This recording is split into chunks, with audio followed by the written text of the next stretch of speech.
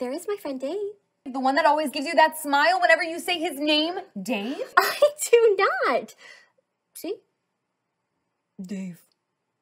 Lisa, you've always been like a sister to me. What if we say we're twins? Yeah. No, that's too much. Oh, my fiance. No, um, that won't be possible. Yeah, we just couldn't do that. Why not? He's traveling. He's dead. Look at that.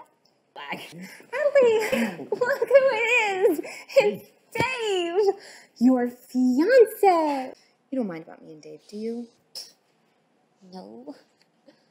A little. No, I mean, there's no reason for me to mind. Why would I mind?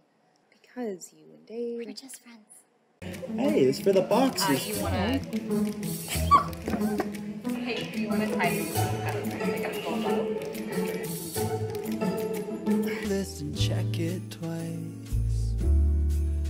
I'll leave you a note right here underneath the Christmas lights. Carols and bells.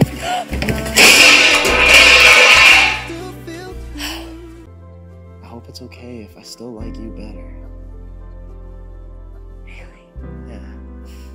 Because I'm kind of klutzy. I'm okay with klutz. I'm your klutz man.